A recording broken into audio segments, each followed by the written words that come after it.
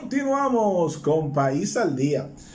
Yo quiero crear conciencia en el presidente de la República, licenciado Luis Abinader, y el ministro de Obras Públicas, con relación a lo que es la construcción, la construcción de la carretera que sale desde Atomayor, pasa por mi pueblo, El Valle, y llega a Sabana de la Mar.